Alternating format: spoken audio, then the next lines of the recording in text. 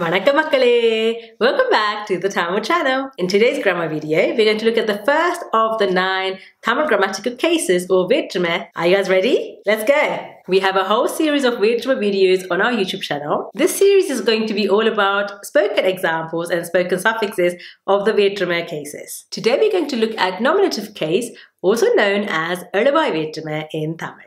Vetrime does not have any suffixes. The noun does not change. So this means that the noun stays in its original state and is usually the subject of the sentence. I've got two examples for you today. I'm using the exact same examples as we used in the written Tamil videos. So you can go back and check out the written Tamil video if you want to learn written Tamil. Let's go to the example. So here we've got the example of Tamilini. Tamilini is a female Tamil name. Tamilini Vandaval.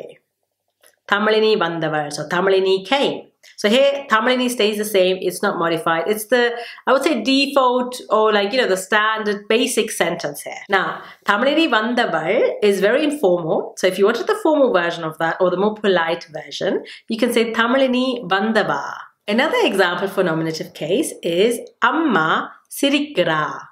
So Amma is laughing or smiling. Yeah, Amma Sirikra. Let's do one more example.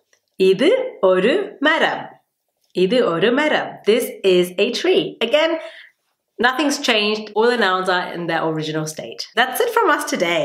So the nominative case is the very simple one. I would normally say you can skip it as well, technically, because, you know, it's the because it's the noun in its original state, so you're not really learning or you don't really need to like memorize or learn any suffixes. You're better off spending more time on the other suffixes that have lots of different different suffixes. I hope you enjoyed today's video. If you liked it, let us know and give us a thumbs up. Make sure you follow us on Instagram at the Tamil channel and Spoken Tamil. I will see you guys next time. Nandri vanakkam.